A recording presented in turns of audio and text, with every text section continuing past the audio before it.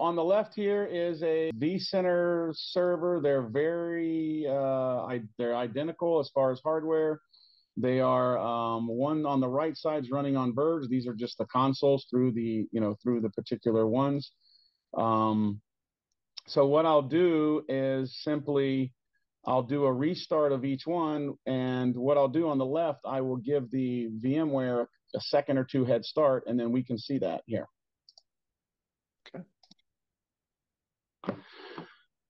And you'll see for yourself how much faster um, a simple VDI, both configured the same, uh, one in uh, Verge and one on uh, ESXi. So now you can see the Verge one's already booted. And you can see on the left, we're still kind of waiting for the Windows boot up for the other side.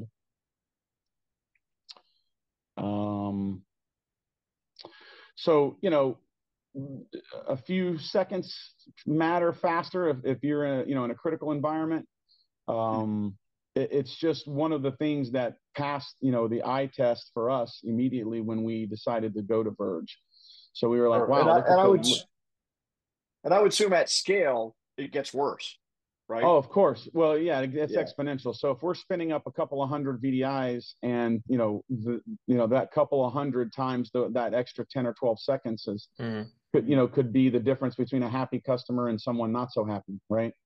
Um yeah, exactly. but you know all things equal it, it is quite a bit faster you know in, in the way that we saw the performance uh, working